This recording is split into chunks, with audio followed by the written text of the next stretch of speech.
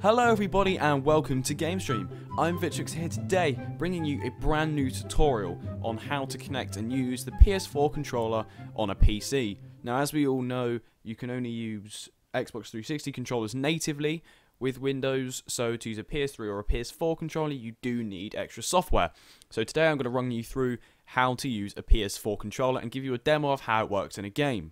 Alright, for this, obviously, you're going to need a PS4 controller and the USB connector cable that comes with it. You can do this with Bluetooth, however, it can be unreliable and it's not always supported, so I'm not going to cover that in this tutorial. Right then, so the first thing you're going to need are some drivers from Microsoft, and these are the Xbox 360 controller drivers uh, for Windows.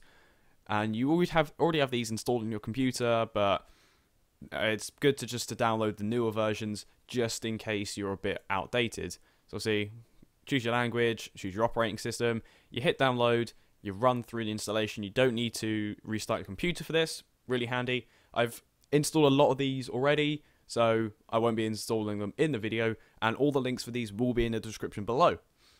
So once you've installed these drivers, what you need to do is navigate to this link here, which is on the PCSX2 forums, and this is for the actual DualShock 4 software. And so you want to scroll down and find where it says the current version and the update last update date, lol, and um, where it says download latest installer here. You click that, and it brings up this window here, which is actually the software website. And you scroll down, it basically tells you the same stuff as that other web uh, other website did, and you find where it says download the version. You download it, you run through, you will need to install some things like Microsoft.NET Framework and 360 drivers. If you've already got them, don't worry, you're good. However, if you don't, it will install them for you, which is really handy. For .NET Framework, you it says it recommends that you restart your computer. I did just in case. Um, so you do that, you run through it, and then once you've once that's all completed, it will open the DS4 software, and you will be greeted with the installation bit where you can choose where to install the software, and obviously I accept these things, and the install button. So you go ahead and do that, you choose where you want to install it, and yes, I shall rejoin you once you've done that. Okay, so once you've done that, what you want to then do is open the DS4 Windows uh, tool. Most of you, it will be all programs over in the start menu there. We scroll down to find DS4 Windows, and it is sitting right there. Next, you want to get your PS4 controller, and plug it into your computer. My cable's all tangled. I, account for that. Got cable, please. You plug it in, and it will recognize it's connected, and it will say controller one connected. It say device is zero charge. Yet mine is actually fully charged. Funnily enough. Um, and so yeah, once you've got this, you have the assigned profile button, edit profile, new profile, and all this stuff. Um, you don't really need to worry about this stuff unless you've got specific wants slash needs for a controller. Okay, so now it actually recognizes it's a PS4 controller. You want to go ahead, it will say default by default, funnily enough. You want to go ahead and hit new profile, and all these should be the same. If you're someone who uses a PS3 uh, controller for like first person shooters, you're probably going to want to switch the triggers and the bumpers around, but from playing Advanced Warfare on the PS4. Hey, come back here. I'm not done with you, mate. They do use the triggers to shoot, and it feels very natural on this controller. So play around with it. Uh, play around with all these settings here to get all the buttons you want where you want. So this here is the configuration tab, and it has things for the trackpad settings. So as you can see now, on the PS4 trackpad, you can use it as if it were a trackpad on a laptop. As it's touchscreen, obviously, you can use it to control the cursor. And you can change the cursor speed, scroll speed, tap sensitivity, and the button for right click. So you can have it as a right click, which is pretty neat, as you can see there. And I think you can have it as a standard little tap. Yeah, you can. It's just like a, it's like a laptop. And then you have the light bar settings, so you can actually turn it off. Which if I do that now, it's currently on. If I hit save, it will turn it off. Just in case you don't want a light there if it's annoying. Uh, I like having a light there. And what you can do, you have um, different settings for it. So for the charging mode, you have uh, different settings here for when it's charging.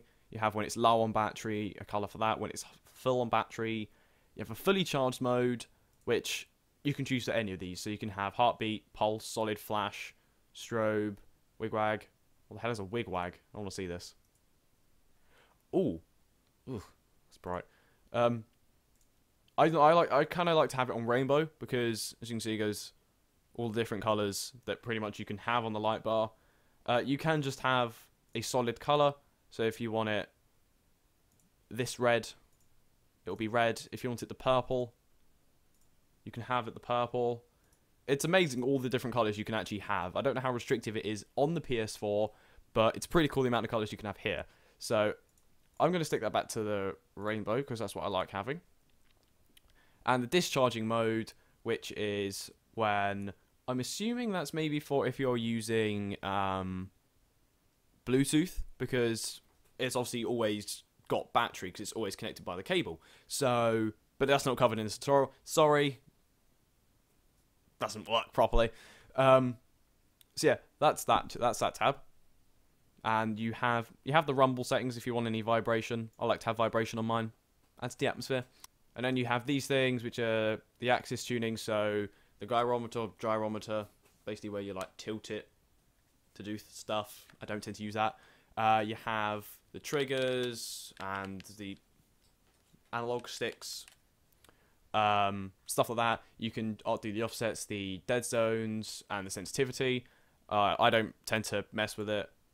Auto launch, I haven't tried it out, but I'm assuming it's when you plug your controller in. If you use your controller just for one specific game, like I mainly use mine for Advanced Warfare, um, you can add the application and it will launch, which is pretty nice.